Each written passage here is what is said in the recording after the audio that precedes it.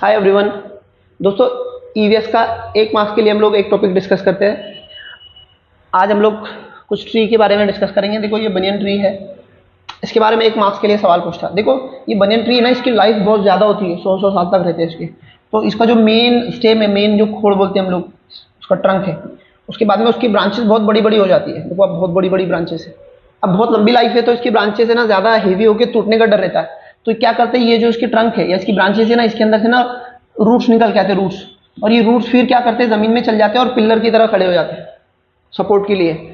और फिर ऐसा वो पूरा जो पौधा है या ट्री है, वो लंबी समय तक अपनी लाइफ को जी पाता. ठीक है? तो इस पर सवाल पूछता है आपको बनन ट्री पे, इसके रूट्स ब्रांचेस से, इसके ट्रंक से ना रूट्स निकल के आते हैं और ज़मीन में जाने के बाद में वो पिलर की तरह खड़े हो जाते हैं ताकि जो ट्री है, उसको सपोर्ट प्रोवाइड किया जा सके। इसमें एक सवाल पूछेंगे आपको।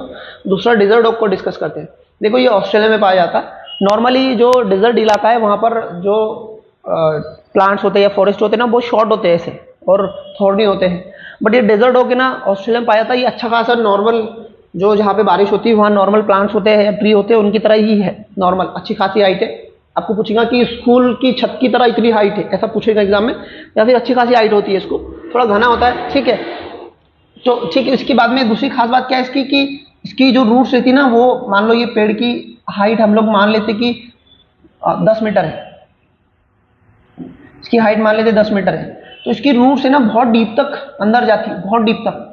तो मतलब थर्टी टाइम जो पौधा है, जो डेजर्ट ऑफ़ जो एक्चुअल है, उससे थर्टी टाइम ज़्यादा रहता है। थर्टी मतलब तीस गुना ज़्यादा। तो कितना हो जाएगा यहाँ पर?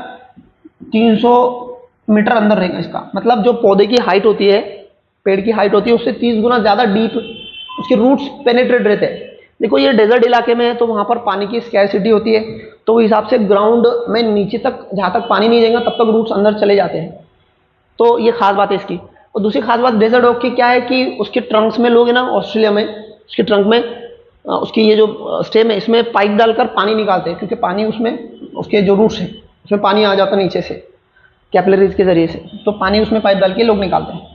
याद रखो नॉर्मल हाइट है इसकी ऑस्ट्रेलिया में पाया जाता है इसकी रूट्स थर्टी टाइम ज़्यादा अंदर डीप तक पेनिट्रेट है साथ साथ इसकी ट्रंक्स में ना पाइप डाल के लोग वहाँ के पानी निकालते हैं जब पानी की ज़रूरत होती है तो।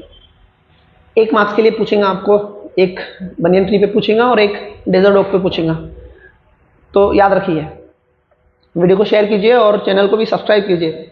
फिर हम लोग एक मिनट में एक कंसेप्ट डिस्कस करने के लिए फिर मैं नेक्स्ट फिर से आऊँगा आपके सामने, तब तक के लिए इजाज़त दो। बाय